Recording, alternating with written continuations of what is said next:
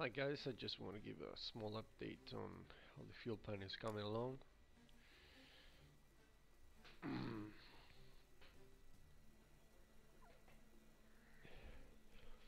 Woo, loading. Mhm. so this is how it looks now. Select the airframe, general info, flight plan, insert steer point, delete steer point, and reset button here. Click. Got uh, weather tab now. For uh, the presets for Netter, you can load them here, and you can then edit them manually. Uh, one thing to note here is uh, if you want to enter stuff as it's presented in DCS or how it would make more sense uh, you can change this setting here. Then we got the payload tab cleaner interface now uh, with the relevant info. Timing fuel uh, can uh, do time over target if you want to uh, depending on uh, the playtime, on the combat zone, in uh, all that, it will give you a timetable here.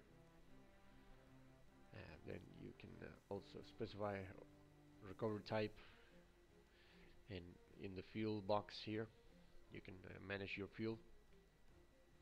You can optimize depending on mission parameters such as air-to-air -air refueling and combat playtime and uh, also you need to this is very important set the diverter field the main you know, in order to uh, get uh, joker and bingo values for uh, the whole mission. Here we got the fuel burn and the landing fuel estimated obviously. And every time you change the stuff here you need to update.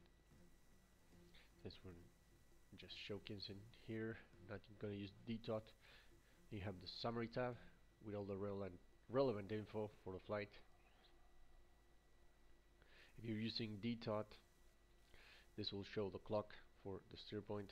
If you're not using time over target it will show you lag time. Takeoff and landing data card.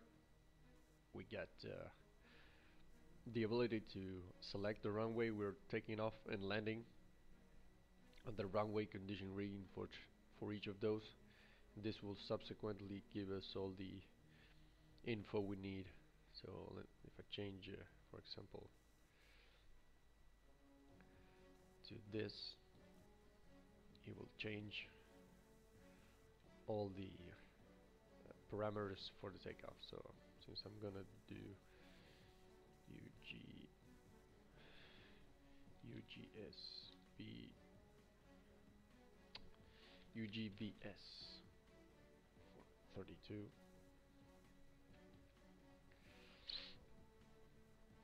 this is Bastiani. You'll have all the relevant info. That it was for the A10 for the F5 all almost the same. Payload tab changes obviously. Timing fuel uh, this time it will uh, give you the suggested uh, fuel tanks you need to load in order to complete the mission successfully. So I go back to the payload tab and I get 275s and I need uh, 150.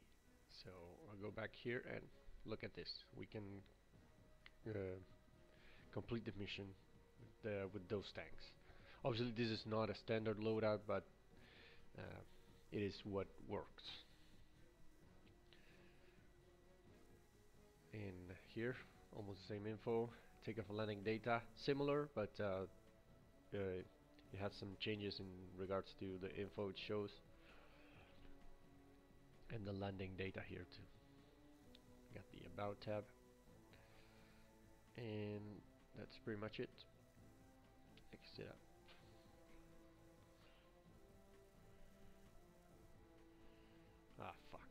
Well, never mind. Okay, that's it.